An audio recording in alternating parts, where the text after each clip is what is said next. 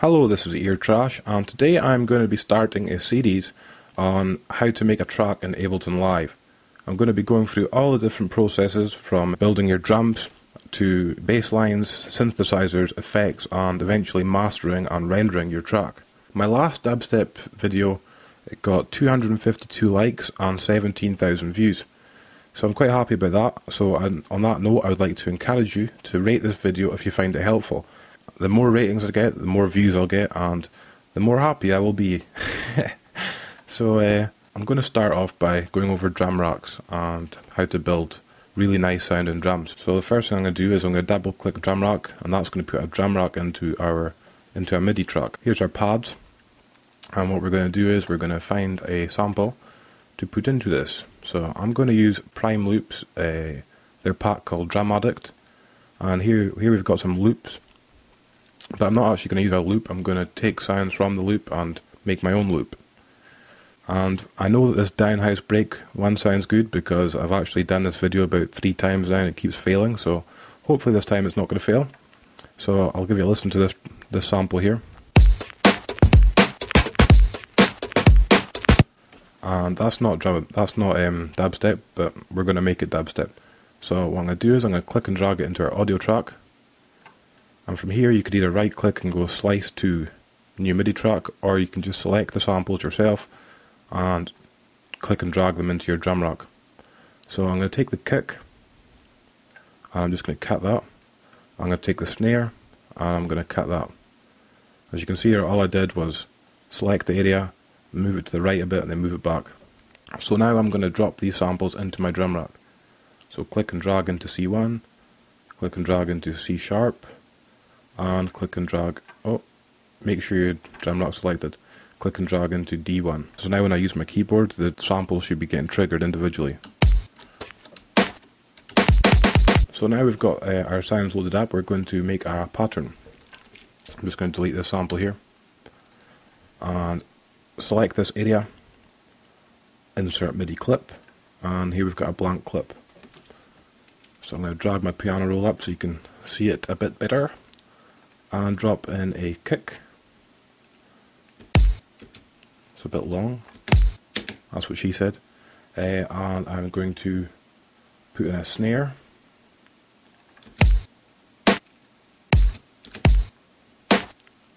I'm going to put a kick in just before the snare.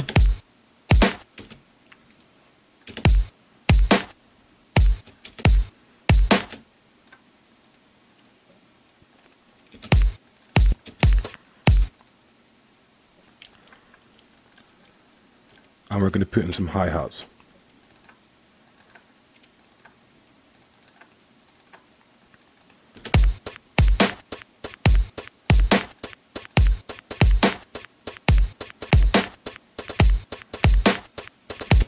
And we're just going to select that clip and press Ctrl and D to duplicate that and increase our loop region.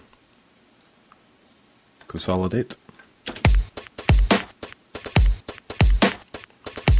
And there we have a very, very basic dubstep beat.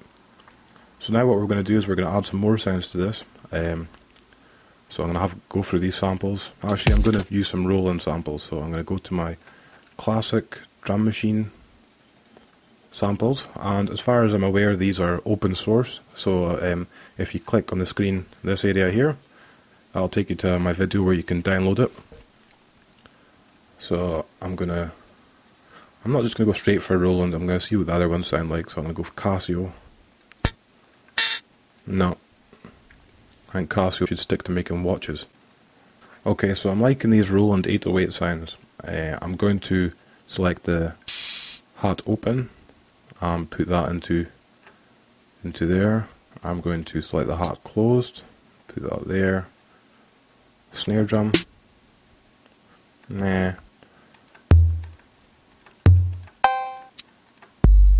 Uh, Cabasa sounds quite good.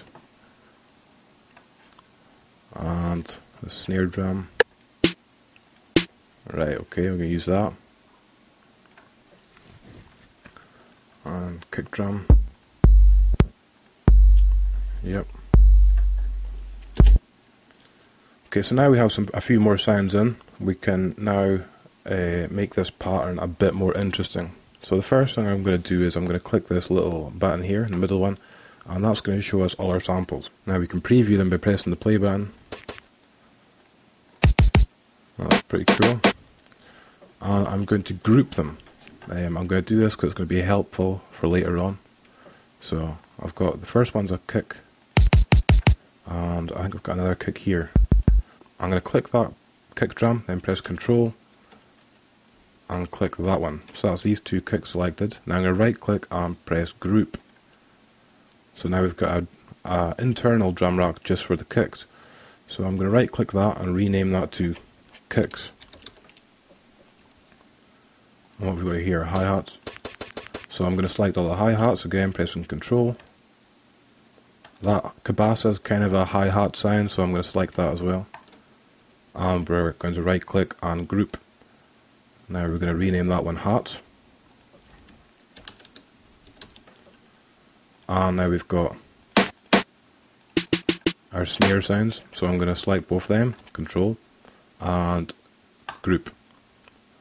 Rename that to snares and claps because we're going to put some claps in that as well later. Now when we go into our pattern by double clicking it we will see more uh, samples appear in it so I can now add in some more uh, hi-hats.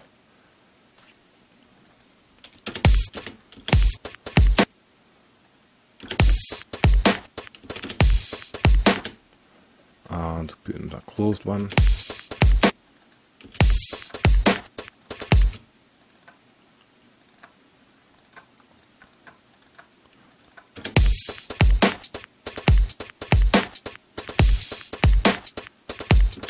I'm going to put in some more Cabasa sounds.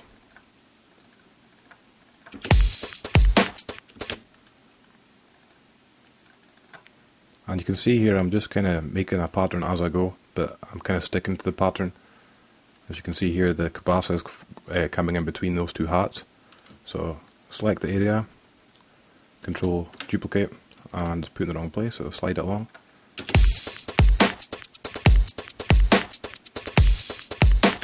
That sounds quite good. It's got a nice little um, rhythm to it. Now I'm going to add in some more kick drums.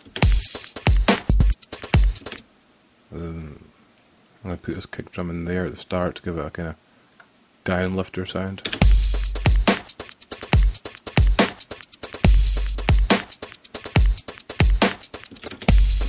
I'm going to put it on top of this other kick as well.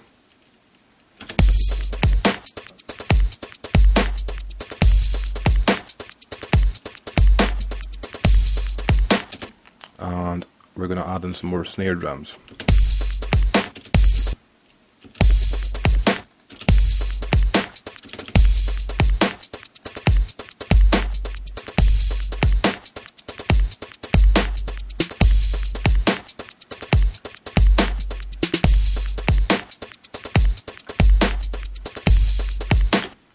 Okay, so now we've got a, a good foundation for a drum, a dubstep drum rock.